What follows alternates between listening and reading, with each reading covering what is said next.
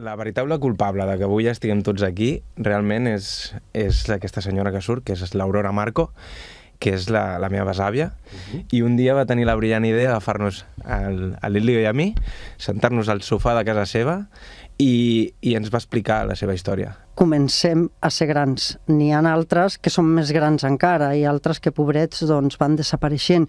I, i deia, diu, és que tenim data de caducitat, o sigui que el relleu és molt, molt important i estem encantats de que hi hagi gent jove que, que, que reprengui tot això i que tiri endavant. Ens vam estar fent per tot Aragó, vam estar a Obon, vam estar a Benassal, vam estar a diverses localitats i tothom tenia sempre alguna a dir. Aquesta és la part més maca, que sempre després de, de passar el curs sempre hi ha gent que t'explica històries. I gent que no sap aquestes històries, però que va a casa i les pregunta. I gent que potser una setmana després et, et diu, hòstia, jo no tenia ni idea del que havien fet els meus, els meus besavis.